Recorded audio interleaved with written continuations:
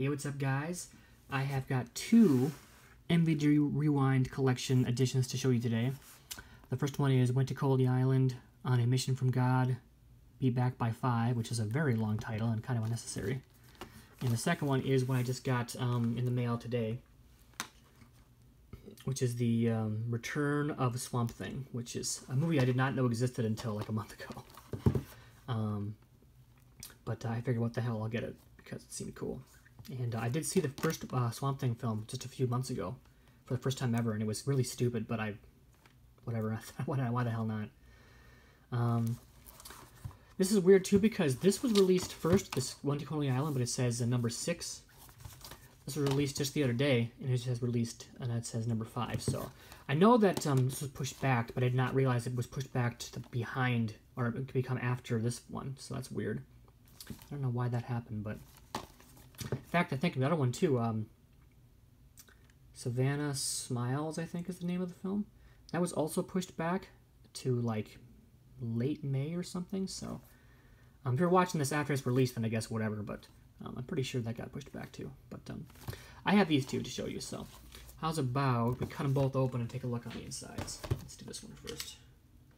This um, Coney Island one looks more like a well, it doesn't look like a comedy exactly. It does have Jon Cryer in it, who the only thing I've seen Jon Cryer in is um,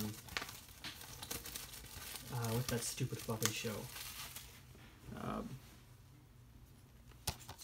what the hell? Uh, Two and a Half Men, is that what it is? I think that's him. I haven't actually even seen that shit, really, but I know he's in it and it's whatever. But I guess he's in other shit too, which, you know, of course he is, right? Whoa. And Swamp Thing. Um, like I said, there's the spines. The Swamp Thing one, it seems like it's a little off center a little bit. I don't know why that is, but uh, the reason I even bought this, well, both of them, I guess, is because they were both about $20 at um, um, Diabolik DVD. And um, from reading the uh, on the Facebook page of MVD's, uh, well, the guy, I think it's just one dude, Eric, I think his name is. He said that if you do want a slipcover, you should buy the first pressing because th there's no guarantees after the first pressing that there's just going to be more slipcovers. So I thought, well, I guess I better buy it then. So they made me do it. But because uh, I do like this slipcover, because I think, let me just take a look here. Yeah, look at that. Without the slipcover, it just has a regular look to it. You can't see because it's fucking out of focus. What the hell? Um, it doesn't have the worn look too, like a VHS. I guess the same images. Yeah. Stop unfocusing. A lot of special features here.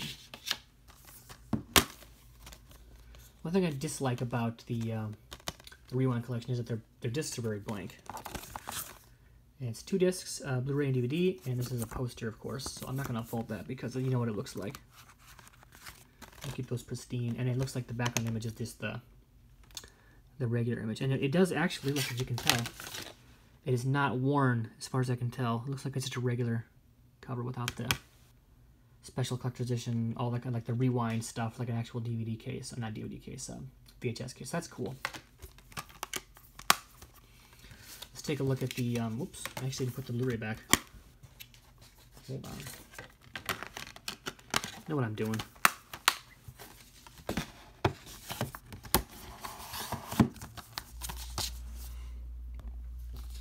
Excuse me, shit. Um, let's take a look see here. After her mother's mysterious death, Abigail Arcane, Heather Locklear, travels to the Florida swamps to confront her resurrected evil stepfather, Dr. Anton Arcane. He's evil? I thought he was the good guy. okay, I don't remember what's going on. Um, in, in, an attempt to stave off the effects of aging, Dr. Arcane, assisted by Dr. Lana Zurrell, combines genes from various swamps, swamp animals, and human beings creating an army of monsters known as Unmen. When Abby arrives, Dr. Arcane is hell-bent on taking his own stepdaughter's life in the name of science. That isn't until she was rescued by Swamp Thing. and this must-see sequel to the original cult classic and based on the award-winning DC Comics uh, series. Wait a second. I thought Louis Jourdan was this guy. I guess I was I was making this game up. Oh, it's probably yeah Dick Durock. That's the actual guy. Sorry, whoopsie. I think he's the same guy who played Swamp Thing in the first film. I think. I'm confused. Sorry, just ignore me if I'm wrong. Um, from the executive producers of Batman v Superman, which is funny to put on here, Benjamin Melnicker and Michael E. Uslan, and legendary cult film director Jim Wynorski, chopping Mom out of this earth. The Return of Swamp Thing features an all-star cast that includes Heather Locklear, Louis Jourdan, Sarah Douglas, uh, and Dick Durock, returning as Swamp Thing. So it's got a brand new 2K uh, trail uh, tra transfer. Sorry, I said trailer. It's not the same thing. A brand new 2K high definition transfer, high definition Blu-ray, standard Blu-ray and standard definition. Uh, uh, DVD presentations of the main feature. Original 2.0 and 5.10 studio. Fuck, I can't fucking read. Sorry. Uh, stereo audio. New audio commentary from director Jim Wynorski, composer Chuck Cirino, and editor Leslie Rosenthal. Commentary from director. New interview with director. New interview with editor. New interview with composer. New interview with Lightyear Entertainment. What's who's that? Well, uh, oh, duh. New interview with Lightyear Entertainment executive Arnie Holland. Original theatrical trailer, new HD transfer from original 35mm materials, six promotional TV clips, two TV spots, two Greenpeace public service announcements, 1989 promo reel, photo gallery, and collectible mini poster. Cool, cool. This is from 19, well, I'm guessing 1989. Yeah. And it is region free. It has subtitles, I think. No, it doesn't. Maybe it doesn't. Sorry. Uh, I prefer if they did have subtitles. I don't really like it when they don't because I just like to have that option. But uh, you know, no big deal. Uh, MVD Visual is the parent company, obviously, and MDB M shit MVD Rewind is the um, obviously the label, the rewind or throwback collection.